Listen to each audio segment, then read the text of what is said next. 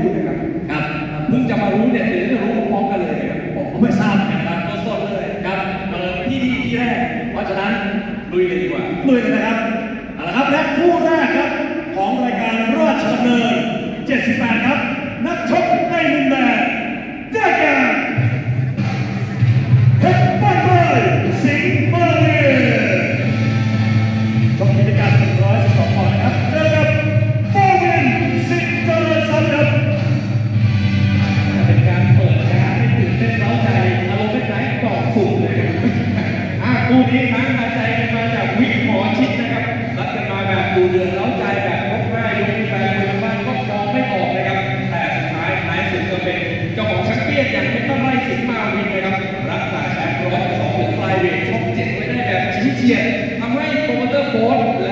เฉลี่ยมองว่าคู่นี้มันต้องชกเปิดรายการวันสัปนาของเวทีมวยราชดำเนิน78 ปี คู่นี้ได้ดูแน่นอนครับเปิดมาคู่แรกตื่นเต้นแล้วไปดูมวยคู่ที่สองครับ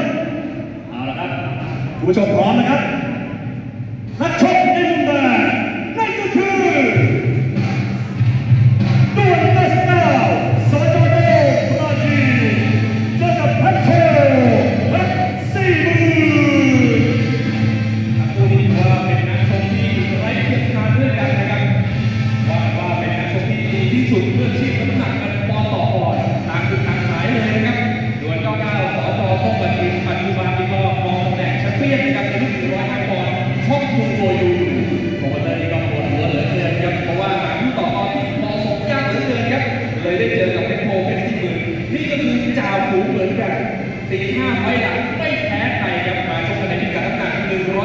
จุดห้าปอนด์ด่วนน้อเก้าเพชโถคู่นรกแตกเลยครับ เอาละครับ เรามาลุยกันต่อครับในมวยคู่ที่สามของรายการราชดำเนิน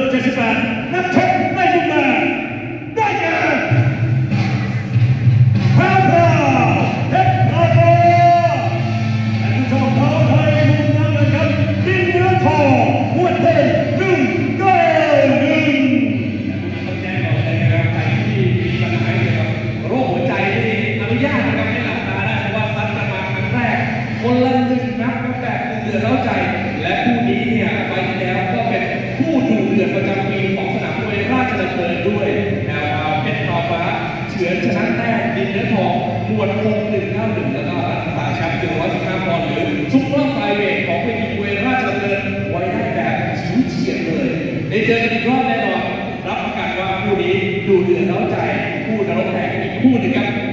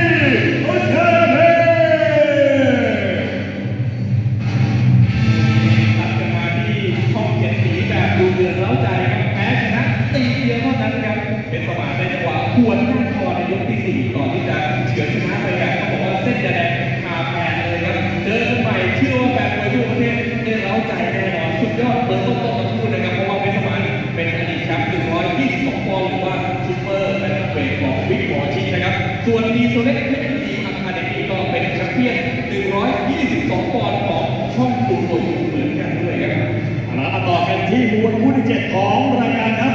ไปพบกับนักชกในมุมแดงยอดเชนเอเอกรุ๊ปและผู้ชมเขาในมุมน้ำเงินครับวิวเพชรโกศลหัวต่อคู่เลยนะครับในพิกัดน้ำหนักรุ่นเฟเธอร์เวทครับ126ปอนด์โยทินก็เป็นนักชกอีกคนหนึ่งที่ทำให้โปรโมเตอร์ปวดหัวนะครับเพราะว่าหาคู่ต่อกรยากเหลือเกิน นู่นแล้วครับสงการเลยนะครับ ส่วนวีครับที่ถือว่าเป็นจอมฝีมือที่หน้าตาหล่อเขาก็หาตัวสู้ยากในสายสุดของเกียรติเพเหมือนกันนะครับคู่นี้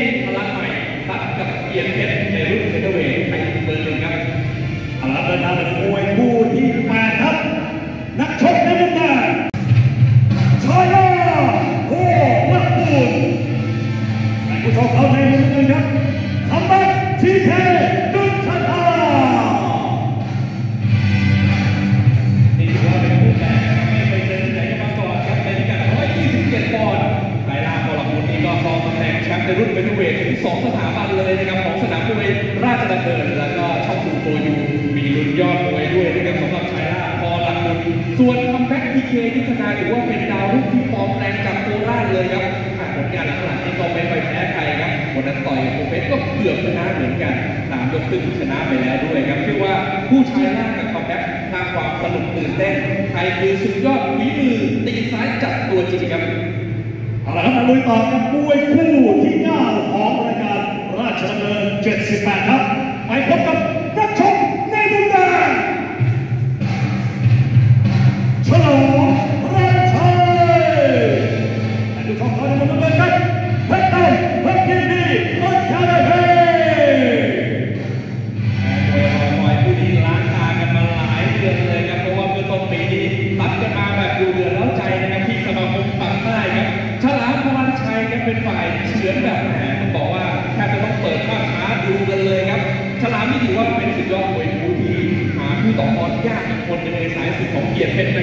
ส่วนเพชรดำเพชรดีอาคาเดมี่นี่ก็เป็นมวยซ้ายของฉายาซ้าย slow life ที่ในใครก็อยู่หมดแต่ว่าวันนั้นเตะฉลามไม่อยู่ต้องมาดูว่าภาคที่สองจะจบลงแบบไหนเกียรติเพชรปะทะกับเพชรดีครับเอาละตอนนี้เดินทางมาถึงมวยคู่สุดท้าย ในรายการศึกราชดำเนิน78ครับนักชกในมุมแดงได้แก่กัปตันเพชร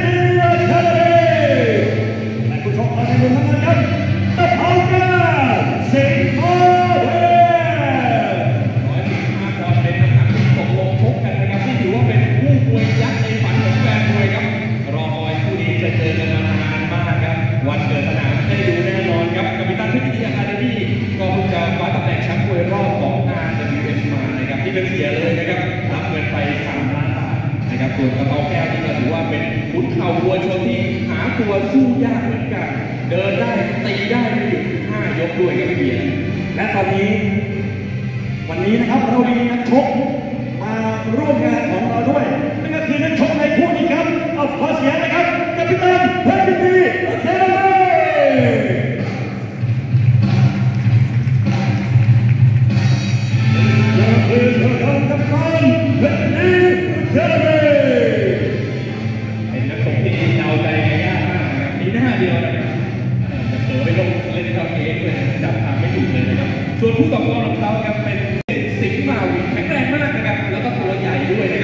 เสียงปรบมือให้กำลังใจปับเอาแก้ว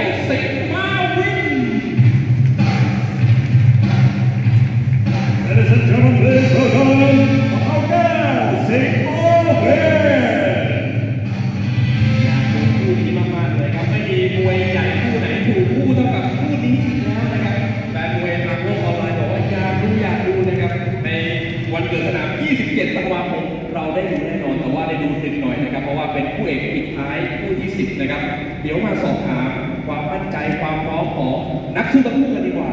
นะครับว่ามีการเตรียมตัวตอนนี้ถึงไหนแล้วเพราะว่าเหลือเวลาจริงๆก็ประมาณเกือบเกือบสามสัปดาห์เท่านั้นเองนะครับถามตึ้งก่อนเลยกับพิตันสามล้านบาทเพิ่งได้ไปจากการแข่งขันในมวยรอบ RWS เอาไปทำอะไรได้กับสามล้านบาทก็เอาไปลงทุนครับปรุงฟาร์มวัวที่บ้านที่จังหวัดบุรีรัมย์ ปัจจุบันนี้นอกจากเราชกมวยแล้วก็ยังมีเลี้ยงวัวด้วยครับมีประมาณกี่ตัวตัว50กว่าตัวครับ50กว่าตัวนี่ถือว่าเป็นแบบอย่างนักชกเลยนะครับ คือชกมวยเก่งแล้วก็ต่อยอดด้วย รู้สึกยังไงครับเราได้ร่วมชกวันสัมมนาของเวทีมวยราชดำเนินเพราะว่านี่ถือว่าเป็นความฝันสูงสุดของนักชกหลายคนนะครับรู้สึกยังไงครับ ก็รู้สึกดีใจมากๆครับ ก็ความรู้สึกตั้งแต่เด็กครับ คืออยากไปชกรายการใหญ่รายการวันสถาปนาของเวทีราชดำเนินครับเพราะหนึ่งปีมีหนึ่งครั้งครับความฝันของนักมวยหลายคนก็บอกมีอยู่สองอย่าง อยากเป็นแชมป์เวทีมวยราชดำเนิน และอีกหนึ่งอย่างคืออยากร่วมชกของวันสัมมนานะครับ เราเคยเป็นแชมป์อย่างราชดำเนินไม่เคยครับอ่านี่อาจจะบอกทางโปรเตอร์แล้วนะนะครับแต่ว่าได้ร่วมชกแน่นอน แล้วได้ศึกษาเทปการชกของตะเภาแก้วมามากน้อยแค่ไหนน้องเขาสดมากแล้วก็ดูรูปร่างแล้วใหญ่ด้วย ก็ดูเกือบทุกเทปครับก็น้องเขาเป็นมวยเข่าที่แข็งแรงครับ แล้วก็ถ้ายกเดินตลอเดิดนตลอดครับดีไม่หยุดครับครับก็ศึกษามาดูแก้เขามาครับตอนนี้ก็เรียนแก้ทางนะครับใช่ครับแล้วเราเริ่มเข้าค่ายฟิตซ้อมเนี่ยตั้งแต่วันไหนครับก็ตั้งแต่เดือนที่แล้วครับเพราะว่าสี่สิบวันครับโอ้โหซ้อมสี่สิบวันเลยนะก็ยังการจะไปชิงกับโลกมวยสากลเลยนะครับก็ซ้อมเดือนกว่าเลยนะครับ คิดว่าลูกเกมมันจะเป็นแบบไหนเป็นเกมยาวหรือว่าเกมสั้นในความรู้สึกเราตอนนี้คิดว่าจะเป็นเกมที่ยาวก็น้องเขาแข็งแรงเดินเบียดแล้วก็ได้รูปร่างที่ใหญ่ครับผมก็ได้ใส่ตัวเล็กว่าจะเป็นเกมที่สนุกแล้วก็ดำเนินเรื่อยส่วนน้ำหนักที่ตกลงชกเนี่ยเห็นขึ้นมา 145 ตอนเราแข่งขันในมวยรอบงาน WSC ต่อยเท่าไหร่ร้อยสี่สิบวันครับ140แล้วเป่งขึ้นมา 5 ปอนด์เลย ประมาณ2กิโลครึ่งมัน เป่งขึ้นมาแล้วมันหนักใจอะไรยังไงไหมมันมีปัญหาไหมเนี่ยก็ไม่มีปัญหา เพราะว่าก็เมื่อก่อนผมก็เคยต่อยเวทใหญ่มาก่อนครับเมื่อก่อนก็ร้อยห้าสี่ปอนด์ก็เคยชกมาอ๋อเท่ากับว่าเราเจอตัวใหญ่ก็ไม่ไม่อาจจะไม่มีปัญหาอะไรเท่าไหร่จบไฟดีไฟต่อไปก็ร้อยห้าสิบเลยแล้วกันเอาร้อยสี่สิบดีกว่าครับก็เดี๋ยวเชิญทางมวยหน่อยขึ้นมาให้กำลังใจเราหน่อยนะก็ในวันต่อไปก็ขอเชิญแฟนมวยนะครับก็ช่วยกันมาดู ที่เวทีกันเยอะนะครับ ก็เพราะวันที่ 27 ธันวาไม่มีการถ่ายทอดทุกช่องทางทีวีครับ ก็อยากให้มาชมมาเชียร์ที่เวทีกันเยอะนะครับวันที่ 27 ธันวาคมอย่าลืมครับที่เวทีมวยราชดำเนินคน inbox มาบอกว่า นี่ยิ้มแล้วนะนี่ตอนได้สามล้านก็ยิ้มแบบนี้นะ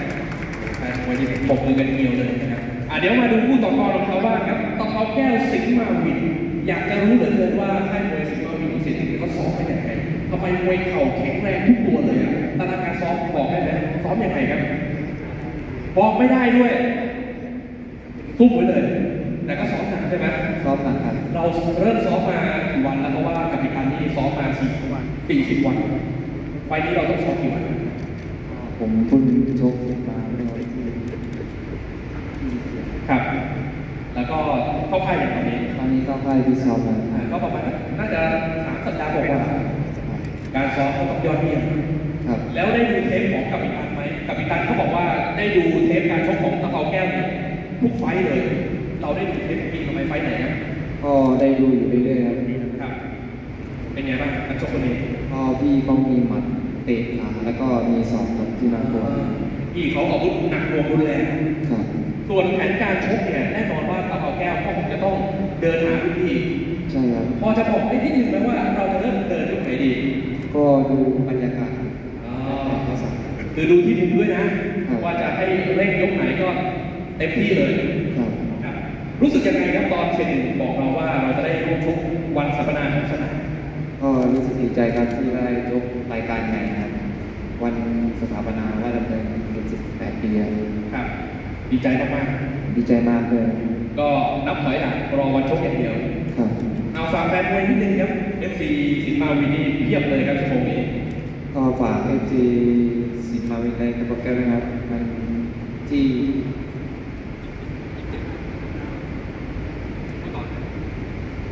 ครับ ก็ฝากแฟนมวยด้วยนะครับวันที่27นี้นะครับ มาดูกันเยอะนะครับ เพราะที่มีการถ่ายทอดสดนะครับครับอาจจะพูดไม่ค่อยเก่งนะครับ แต่ว่าเดินตีเขาแล้วแต่เดินตีไม่หยุดเลยเป็นชกคนนี้ นะครับนี่เป็นคู่ที่สิบนะครับก็เป็นคู่เอกทุกคู่เลยนะแต่นี่เป็นคู่เอกส่งท้ายนะครับสุดยอดมวยยักษ์มวยใหญ่ที่แฟนมวยรอคอยกันมานานประกบในโซเชียลกันมานานแล้ว ได้ดูแน่นอนนะครับในวันพุธที่ 27 ธันวาคมย้ำนะครับว่าไม่มีการถ่ายทอดสด แล้วก็ไลฟ์สดทุกช่องทาง